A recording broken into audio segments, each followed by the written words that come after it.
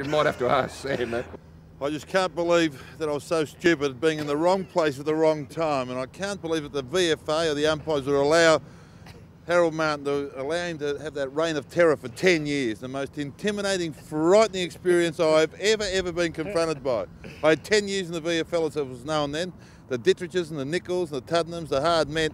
It was nothing by comparison to Harold, let me tell you. And how many did he bounce off that big scone of yours? A nice thing to say, Paul.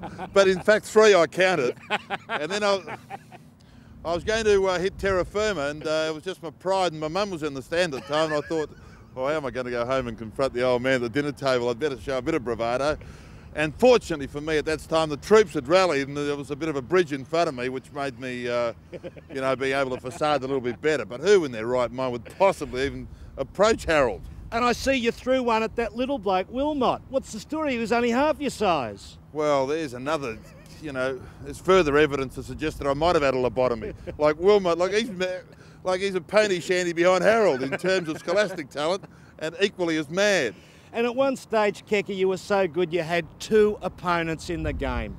No, I think that's when Harold was, uh, uh, there was a tinge of ambiguity associated with Harold's uh, team planning he set up the zone defence wrong and they picked me up instead. And tell us, what about the game? Uh, it was a fantastic game of football, massive crowd. Your fondest memories of that one year in the VFA in 1978? Well, in fact, I had two years, Philip, but uh, my first year was fantastic. Uh, the VFA, you know, we talk about it now, traditional rivalry and communal football and uh, big crowds, and there was a terrific passion associated with the VFA.